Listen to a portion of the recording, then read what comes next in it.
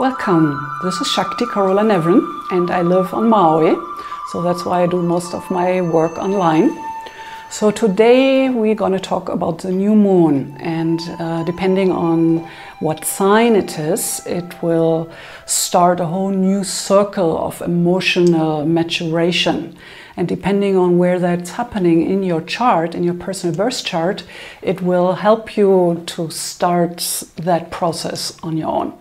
So if you hang in there, go to the end of the video, you will get access to your free birth chart. And then you can get very specific with the more general information I'm intending to give you today. Welcome to my new moon video about Aquarius. And uh, yes, a new moon will be important and it's good to know about what to expect for all of us. But then, of course, it depends how it uh, uh, percolates into your own chart and what it activates there. And also, uh, if you have your moon and your birth chart in Aquarius or any other planet, sun, ascendant, other planets, this video will be of uh, importance and interest for you. So this new moon is happening at 19 degrees of Aquarius, February 8th, 2016 at 6.38 a.m. Pacific Standard Time. So you have to correlate it to wherever you live when it's happening there. So we will discuss, therefore, the Aquarius archetype and personality. And at the end, I will give you very practical suggestions how you can take advantage of the Aquarian energies and how to ride the, the wave, as I call it. What else is going on? the Chinese year, the year of the Yang, fire, monkey, begins at the same day as the new moon. So the fire monkey uh, symbolizes intelligence, creativity, as well as impulsiveness and opportunism. So uh, we can see that in monkeys that uh, they're pretty smart. So so that's happening simultaneously. And then the Jupiter retrograde in Virgo just started in January 7th uh, at 22 degrees Virgo, has gone all the back, uh, all the way back to 13 degrees. Uh, and turning direct main lines. So that's kind of the backdrop and uh, Jupiter in Virgo is about really making up our mind what it takes for us to be healthy, to have a sense of well being. And Jupiter, as a big benefactor, will help us by giving us second chances. That's what's usually happening in a retrograde phase. And then, of course, we have the full moon coming up also in Virgo, uh, end of the month, February 22nd, which I will prepare an extra video for, for you. So let's move on. A little bit about me. My name is Shakti Carola Navran, and uh, I'm very passionate about astrology. So I want everybody to have their own birth chart and uh, throw a love stone report on top of it when you sign up on my website. And I truly believe that you are born to thrive. So, uh, as an astrologer for almost 40 years now, uh, I really, really, truly love astrology and know what it can do for you. And it is your astrological blueprint. And uh, with that, it's your road to karmic healing and true transformation and really. Mm, take the high road of all the potentials you're bringing with you as a soul to this lifetime. So, as an astrologer, I'm deeply committed to help you to understand yourself and uh, integrate all these uh, forecast readings I'm doing from that point. It seems like that the full moon is often getting a lot of more attention than the new moon, but actually, I think um, the new moon is maybe even more important because it's a beginning of a new cycle. It's an opportunity to embody the essence uh, of the zodiac sign in which it actually happens and begins for all of us. So around the new moon, it's an optimal time to reflect on where you are and where you want to go next and what you want to create next. So uh, to to set yourself up consciously for that emotional maturation around the new moon will help things to uh, move along uh, more fluidly for you. So so pay attention to the new moon. I will discuss the Aquarius personality and uh, what that means for you. So the Aquarius is the third air sign and is ruled, ruled by Uranus, the uh, transpersonal planet. But the, uh, the, in the old astrology, it used to be thought as ruled by Saturn. So nowadays, we kind of uh, look at both planets when we're going to get some in depth uh, information what you want to know about the Aquarian personality, it's uh, the outsider.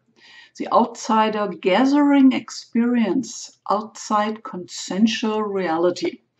And uh, as theoretically as that might sound, imagine you being the one who is very different, alienated from uh, other people around you, thinking, working, acting differently.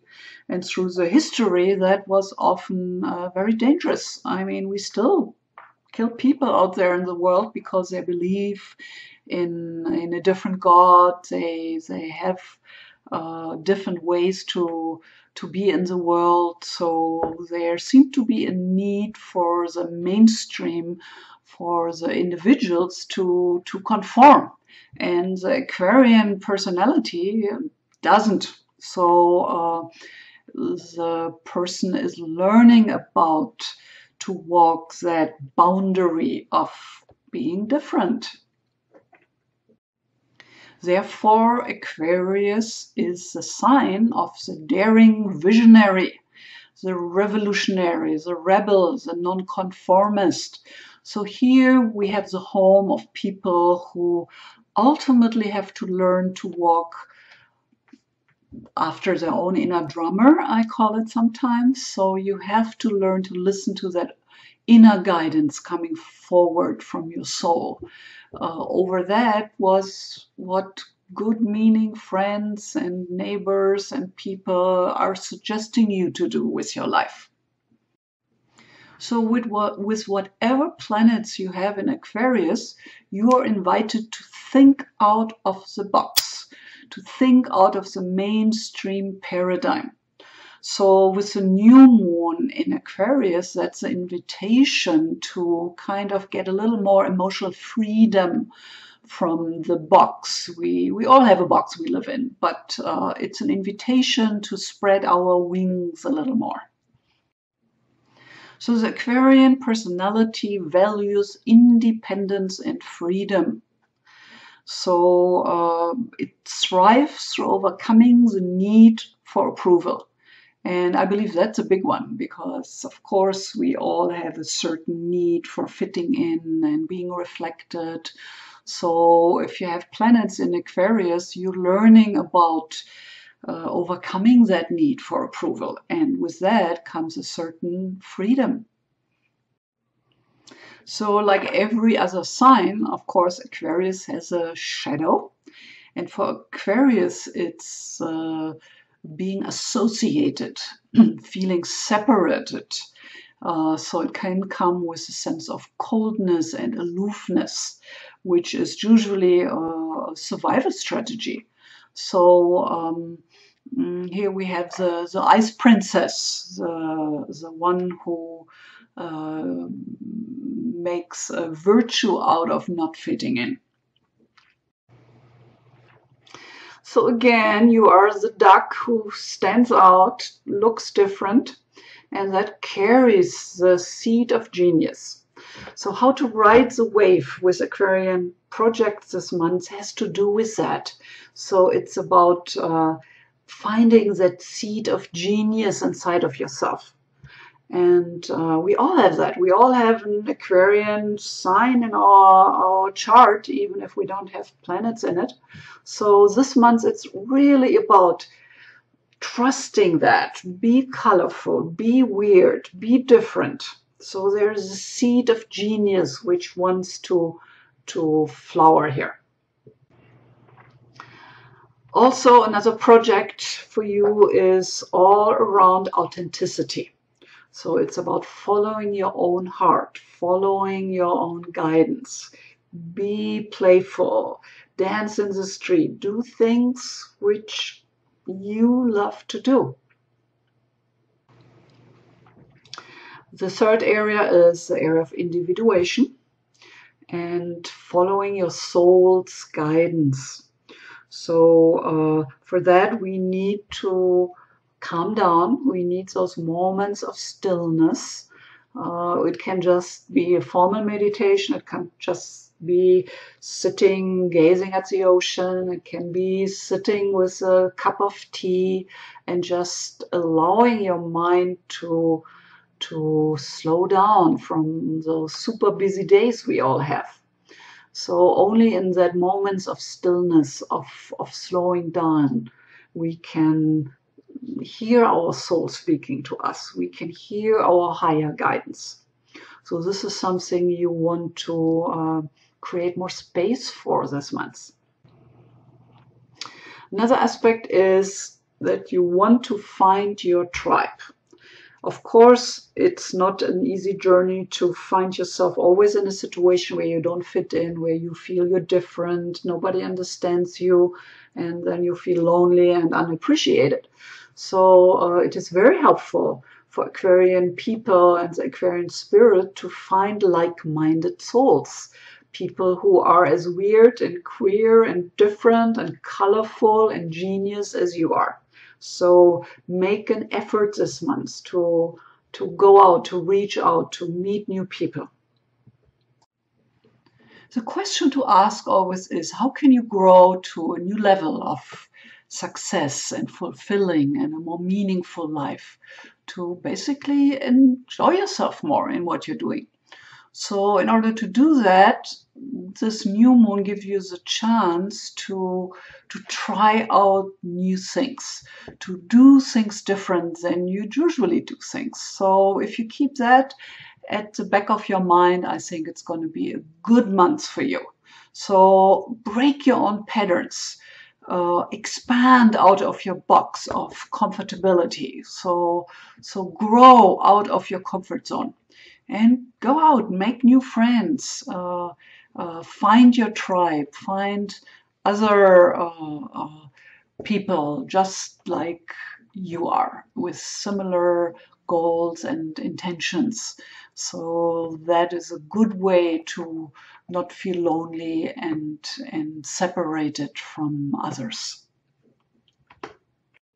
So this time I picked a more unusual stone for this new moon as a true birthstone for Aquarius. So first of all, uh, as you know, every gemstone has a certain signature when we look at it from an astrological perspective. And that is created out of the chemical composition, the crystal structure, the color, the light reflection. So labradorite represents Mercury, Moon, Jupiter, Saturn, and Uranus. So with a new moon in Aquarius, which is ruled by Uranus and uh, co-ruled by Saturn, I thought this was a beautiful stone to present you to you this month. So first of all, you might have seen a labradorite. it looks a little bit like a moonstone. So it's kind of what we call a, a feldspar cousin of the moonstone. So uh, chakra-wise, it connects the heart and the throat chakra. So what it does because of that, it helps to make a connection between the heart and our inner world of feelings. And then it brings the energy up into the throat chakra and helps us to express those feelings and with that our own inner truth. So, uh, first of all, we really need to be in contact with those feelings to then be able to express and uh, uh, bring them forward. So, labradorite helps to unveil those emotional needs and helps us to connect. And here is a connection to the moon. It's a deeply nurturing, nourishing stone. So it also is therefore very balancing into the emotional body. So it's really wonderful stone. It's not an expensive stone. You can have a big piece of it and just uh, have it in your pocket or put it on your body uh, for some meditation practice. So it's a wonderful stone to play with and uh, find out what you think about it and what your experience is with it. So let me know. So if you haven't done so yet, now it's a good time to sign up for your free subscription on YouTube. Or if you really want to keep informed, you might uh, want to sign up for my newsletter. And there you will get access to your free horoscope, your birth chart, and your free love stone report. And please, if you like my video, like it and leave me a comment. So uh, it helps me to keep this going. So I know there's actually somebody out there who appreciates what I'm doing. So thank you for connecting with me. If you're really interested in astrology, I like you to know that I do teach astrology classes for beginners once in a while. So uh, it could be something you're interested to learn for your own inner process or to start a new career. Uh, either way, uh, connect with me, send me an email, and I will let you know about the specifics and when the next training is going to start. As an evolutionary astrologer with 37 years of experience, I'm very passionate about astrology. You might be able to tell. And I truly believe that you are born to thrive and that your astrological blueprint is there to help you with your karmic healing and a profound transformation. And it's all happening in our consciousness. So if you're interested to have a look at your personal chart with me, give me a call. I'm in Hawaii 808-878-8182 or head over to my website and connect with me there, mauiastrologyreading.com. Thanks for coming and listening. I hope you enjoyed it. If you did, please like me. And uh, I hope to see you soon again. And as we say here on Maui, aloha.